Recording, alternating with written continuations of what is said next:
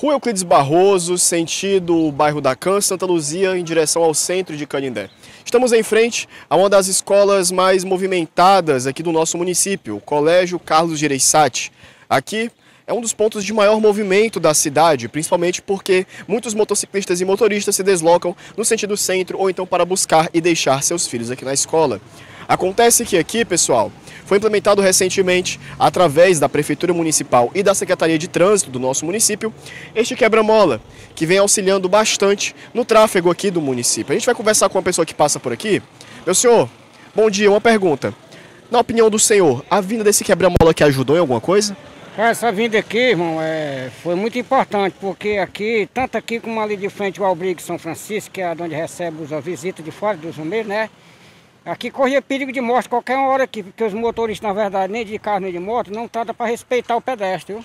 Foi não respeitava, né? Não respeitava de jeito nenhum, não. Por sorte, porque São Francisco, Deus é mais, é mais forte, não aconteceu tragédia aqui, porque, né? Que Deus estava na frente, né? Que se dependesse da vontade dos motoristas... Tanto aqui como numa briga era a mesma coisa? Mesma coisa. Ali eu, eu trabalho, eu sou vendedor, eu trabalho ali. A gente vê, vê na hora acontecer uma tragédia ali, porque os motoristas, na verdade, não querem respeitar. Essas tartarugas fininhas aí, eles não obedecem, não. O cabo a gente dá um galo por cima. Como é que o senhor se chama? É Raimundo Donato. Raimundo Donato, né? O senhor Raimundo Donato, olha só. O senhor Raimundo é vendedor aqui, né, da região. E ele está relatando para nossa equipe. A gente pode ver, inclusive, aqui, pessoal, olha só. Como que era antigamente.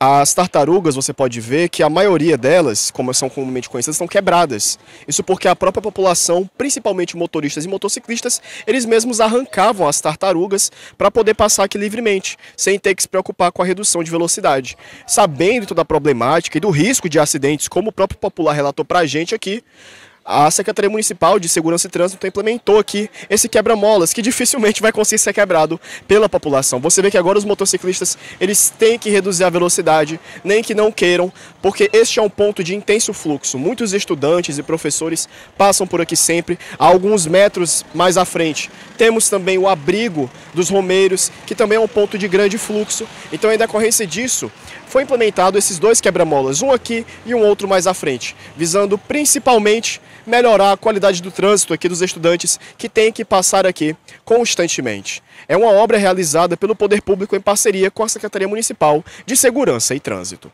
As imagens são de Paulo Victor, eu sou João Lucas Alves, retornando para os estúdios.